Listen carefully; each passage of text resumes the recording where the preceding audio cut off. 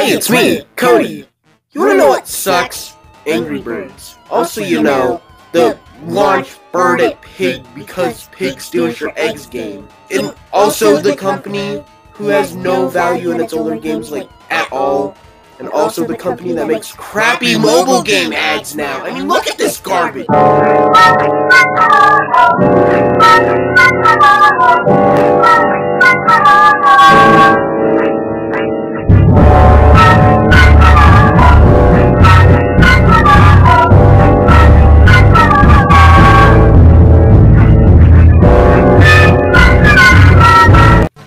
This looks like crap!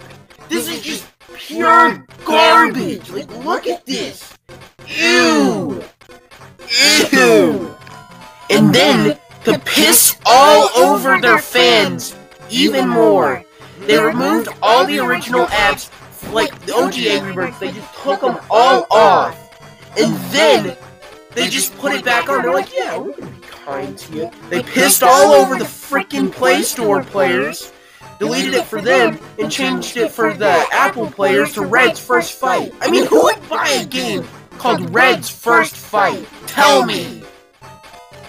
Kind of the reason why I am mad, like, at any of this, is because I was a big Angry Birds fan growing up. Like, I loved, I like, I had all the games on my tablet.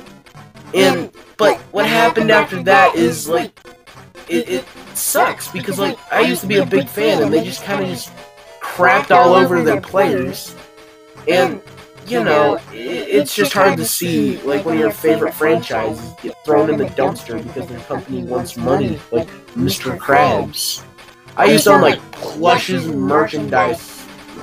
Like that was when they just like made it off popularity, but now it's just shitty mobile game ads. Sure. Woohoo!